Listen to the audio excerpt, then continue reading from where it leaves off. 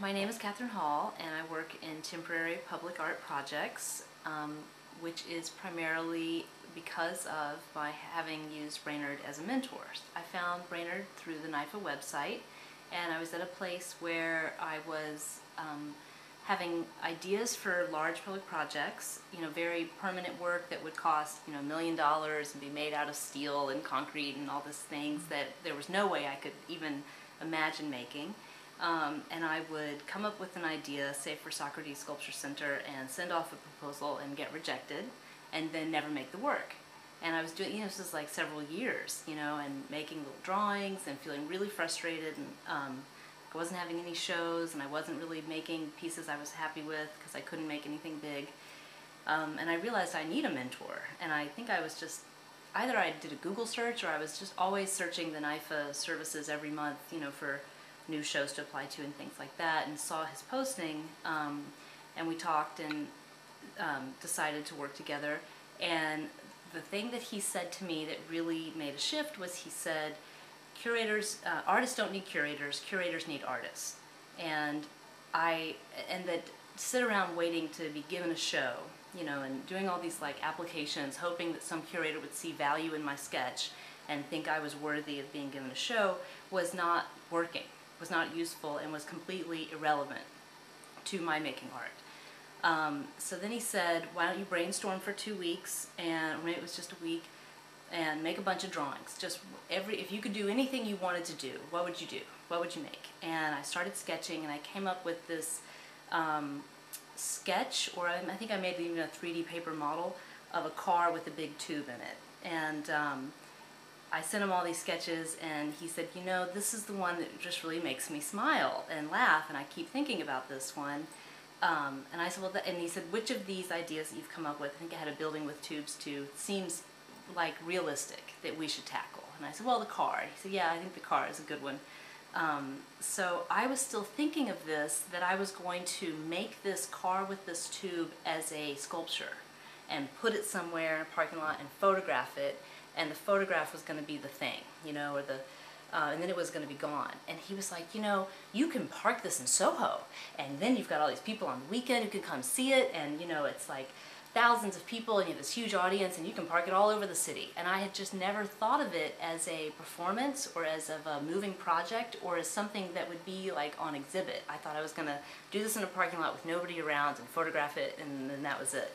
And it just totally opened my eyes that the work I was doing and wanted to do didn't have to be permanent and made out of um, glass and steel and concrete and cost a million dollars, that I could do it for $300, which I could come up with, and do it all over the city.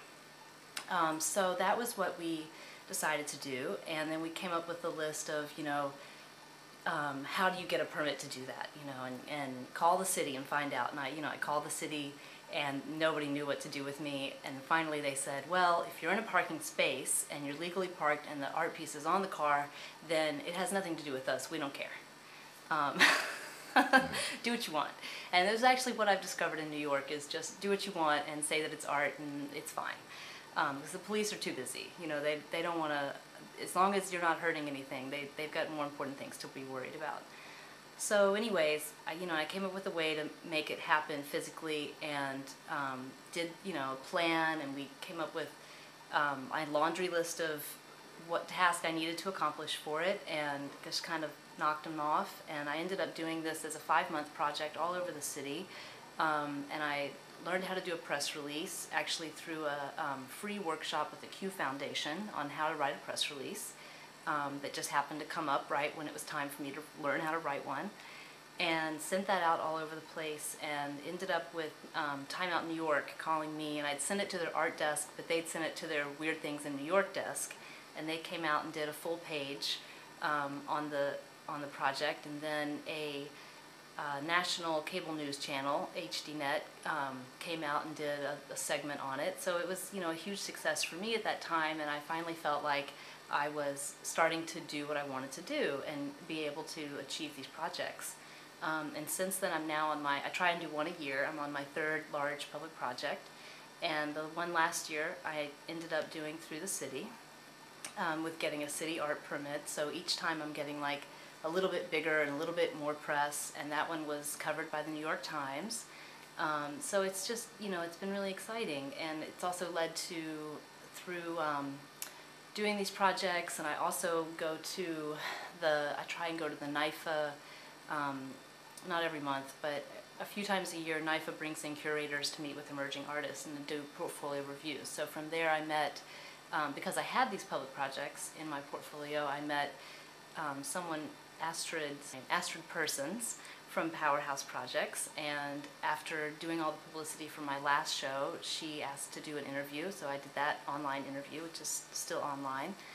And um, it's just, you know, it just finally got me to rethink how I uh, rethink my art making and realize that if it's not working for you, you just need to change your model.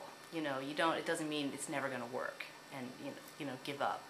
Um, so that's what I would say. That the important thing about having an art mentor is just it's it's good to have someone outside yourself come help you brainstorm and realize what's holding you back.